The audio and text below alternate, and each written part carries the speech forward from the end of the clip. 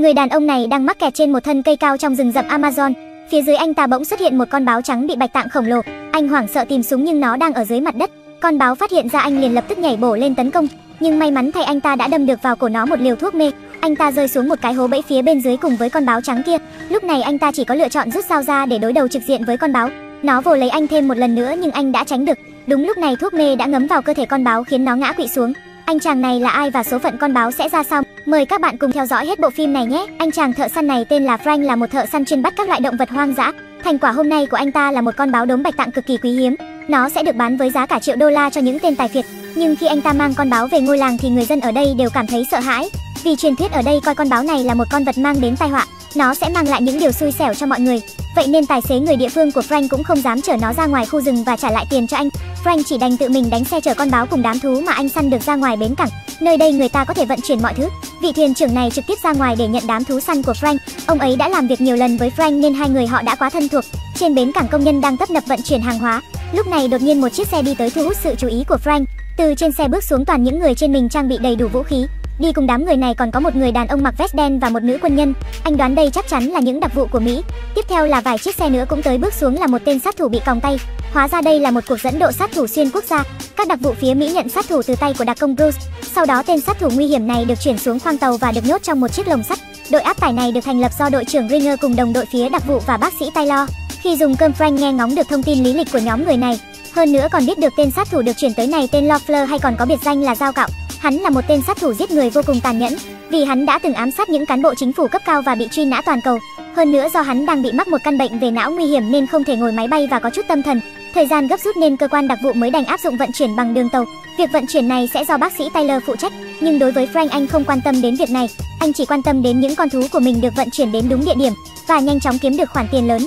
Sau đó anh ở dưới khoang tàu vừa cho động vật ăn vừa nói chuyện với Ruby con trai thuyền trưởng. Anh khoe khoang với cậu bé rằng mình dũng cảm như nào khi bắt được chú báo đốm trắng hung dữ này. Phía khác dưới khoang tàu tên phạm nhân trong lồng sắt đột nhiên lên cơn co giật. Hai bảo vệ vội vàng thông báo cho bác sĩ Taylor. Họ vội vàng mở lồng sắt vào cấp cứu cho hắn. Đột nhiên hắn cắn vào tay một anh bảo vệ người bảo vệ còn lại giơ súng định đánh hắn. Thì tên phạm nhân đã túm được và bóp cò khiến anh bảo vệ kia bị bắn trúng đầu. Nghe thấy động tĩnh bác sĩ Taylor cùng các đặc vụ xuống hầm tàu kiểm tra, nhưng lúc này trong lồng sắt chỉ có xác của một bảo vệ, còn tên sát thủ kia không thấy bóng hắn đâu. Khi tìm kiếm họ lại phát hiện thêm một thi thể của bảo vệ còn lại. Bác sĩ Taylor lập tức tập hợp mọi người lại và nói qua tình hình hiện tại. Sau đó Ringer yêu cầu mọi người tập trung lên tầng trên tàu, còn một đặc vụ sẽ đưa đầu bếp xuống nhà bếp lấy lương thực thức uống. Khi đầu bếp vừa vào nhà ăn thì đám khỉ đã phá gần hết đồ ăn trong bếp. Điều này khiến anh ta nổi điên lên tấn công đám khỉ. Khi nghe thấy tim động vật bị sổng ra ngoài oan nhanh chóng phản ứng, đó là do tên phạm nhân đáng chết kia thả đám động vật ra ngoài.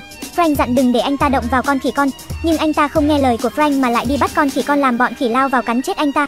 Frank vội vàng chạy ra ngoài không nghe sự phản đối của đội trưởng. Đội trưởng thực chất cũng không quan tâm con động vật nào chạy thoát. Anh chỉ quan tâm đến việc bắt sát thủ. Lúc này Frank quan sát biết được tất cả động vật đều bị thả ra. Anh vô cùng tức giận gọi điện khẩn cấp cho thuyền trưởng và những người khác. Nếu gặp phải báo đốm trắng và hai con rắn độc thì nhất định phải cẩn thận.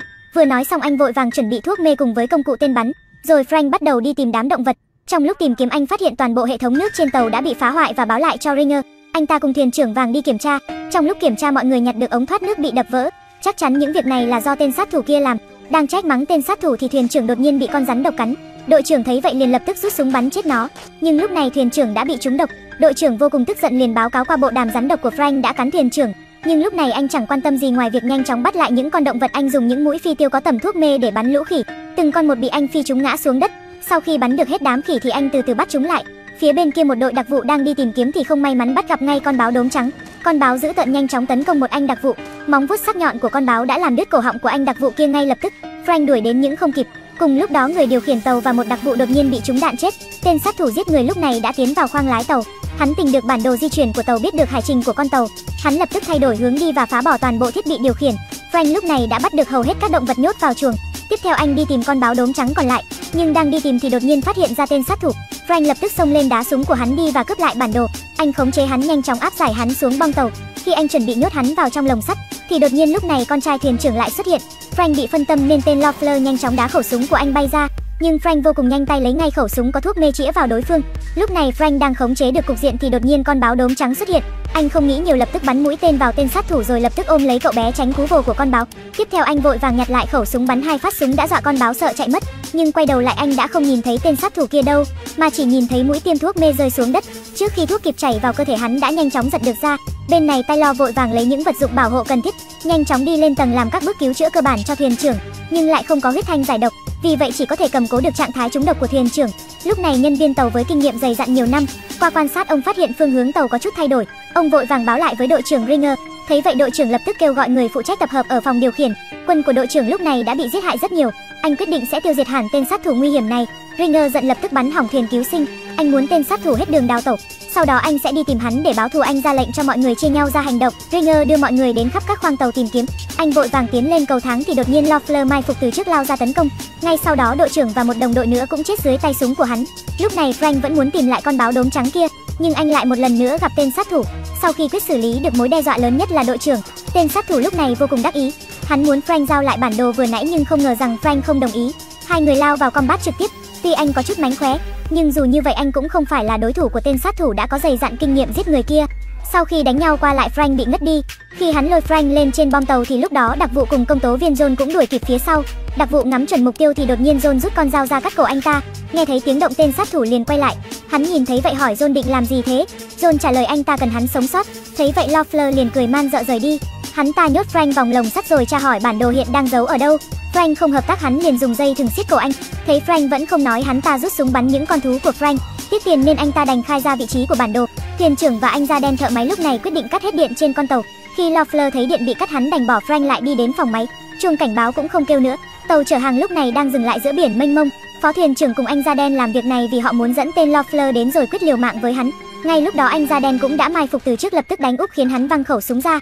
Họ định hai đánh một tên sát thủ này, nhưng rõ ràng cả hai không phải là đối thủ của hắn. Anh da đen lúc đó vô cùng dũng cảm vừa dục phó thuyền trưởng chạy, để lại anh một mình giữ chân tên này. Phó thuyền trưởng đành phải chạy thoát, còn da đen cứ như vậy bị Loeffler giết chết. Lúc này John nhìn thấy Frank bị nhốt trong lồng sắt, ông ta vội vàng cởi trói cho anh. Sau đó họ cùng tập trung ở trên khoang tàu. Lúc này quân đội đặc vụ cũng đã bị tiêu diệt sạch, tình hình trúng độc của thuyền trưởng cũng ngày càng nguy hiểm. Mọi người chỉ đành bỏ lại ông ấy để sử dụng chiếc phao cứu sinh cuối cùng chạy thoát. Khi mọi người lấy được phao đáp xuống biển thì đột nhiên Lofler xuất hiện bắn họ. Tyler đánh rơi mất khẩu súng nên không thể phản kháng. Tên Lofler liền bắt Ruby làm con tin uy hiếp mọi người để cướp chiếc phao cứu sinh, nhưng công tố viên John quyết định chạy ra bắn thủng luôn chiếc thuyền. Lúc này hắn điên cuồng xả súng vào phía mọi người nhưng tất cả đã chạy thoát được. Quay trở lại Frank bàn với Taylor bây giờ chỉ còn cách duy nhất là tiêu diệt hắn. Vậy nên anh liền tìm công cụ tên đi săn phù hợp nhất chủ động đi tìm lofler Lúc đó Taylor cũng lập tức cùng anh di chuyển. Cô muốn cùng nhau tiêu diệt tên sát thủ kia. Frank liền nghĩ ra một cái yêu cầu Taylor làm con mồi dụ tên sát thủ xuất hiện. Cô đã hiểu ý rồi di chuyển về phía phòng máy và cố tình tạo ra tiếng động. Quả nhiên tên sát thủ đã nghe thấy tiếng động lao đến. Tên biến thái này đã từ lâu có hứng thú với Taylor. Hắn ta trước tiên dự định nhốt Taylor xuống dưới tầng hầm cùng Ruby. Ngay lúc này Frank xuất hiện phía sau, giờ cung tên ngắm chuẩn mục tiêu. Đột nhiên lại nghe thấy phía sau có người kêu dừng tay. Hóa ra đó là John đang chĩa súng vào anh. Lúc này Frank và Taylor không biết chuyện gì đang xảy ra. Loeffler lập tức nói cho mọi người biết hắn chính là tên đặc công của Cục An ninh Quốc gia. Hóa ra là một sát thủ được thuê bởi một quan chức tham ô trong Cục An ninh Quốc gia, chuyên giết hại ám sát những người chống lại quan chức tham ô này. Sau khi hành động lần này của hắn bị bại lộ thì bị tóm về trừ khử, nhưng do hắn có mọi chứng cứ quan trọng của việc tham nhũng này, nên tên John được phái tới để giả làm công tố viên nhanh chóng lấy lại chứng cứ, nhằm mục đích đưa tên này an toàn trở về. Đương nhiên trong tình hình cấp bách John bắt buộc phải lấy mạng của hắn. Đối với việc cứu hắn thì Côn không có chút nhiệt tình nào, chỉ là muốn tìm cơ hội giết hại toàn bộ người trên tàu này để bịt đầu mối. Taylor dũng cảm nhận ra tình hình đang vô cùng nguy cấp, cô liền đẩy súng của Loeffler giúp Frank thuận lợi bắn trúng hắn, còn hắn thì bắn trúng tên John giết chết luôn ông ta. Khi hắn bị trúng mũi tên thì quay sang Frank đã chạy mất.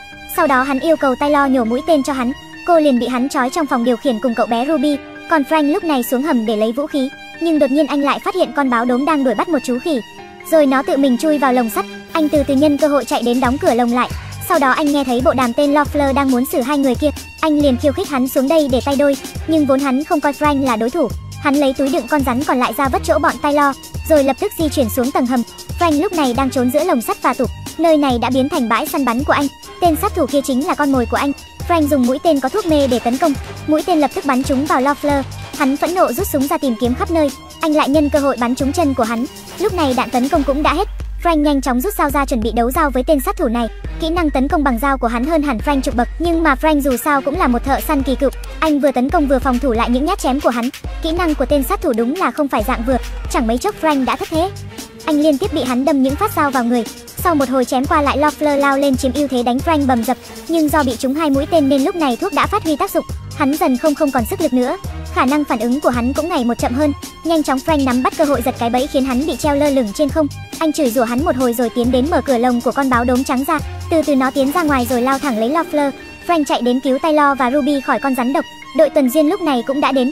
Họ kịp thời cứu cho thuyền trưởng và cho anh ấy lên trực thăng đưa vào đất liền. Còn Frank lúc này đang bị tra hỏi về nguồn gốc đám thú. Taylor xuất hiện nói giúp cho anh thành công lừa được vị thanh tra này. Sau đó hai người trao đổi thông tin và Frank cũng quyết định bỏ việc làm thợ săn. Bộ phim đến đây là hết cảm ơn các bạn đã theo dõi.